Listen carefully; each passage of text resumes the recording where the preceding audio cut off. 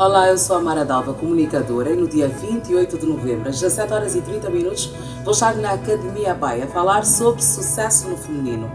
O Meu Mundo, o Meu Futuro é um projeto que pensa nos jovens angolanos, nos seus sonhos, naquilo que almejam para o futuro. Já falamos sobre o coeficiente de inteligência versus quem indica.